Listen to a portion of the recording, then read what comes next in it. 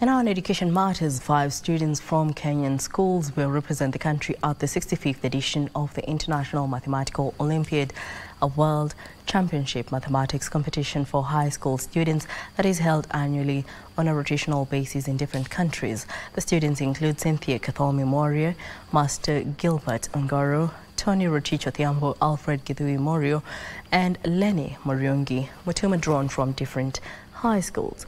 The event is underway at the University of Bath in the United Kingdom and is set to end on the 22nd July 2024.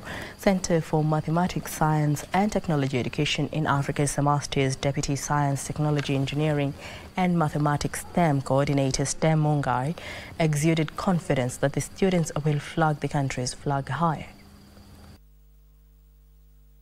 It's a team that is made up of very brilliant boys and girls and we hope that we are going to come back with medals uh, for this country.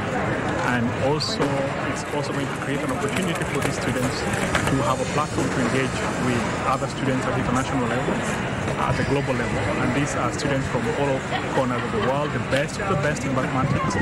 And we hope that this platform is going to give them as a springboard, or it's going to serve as a springboard for them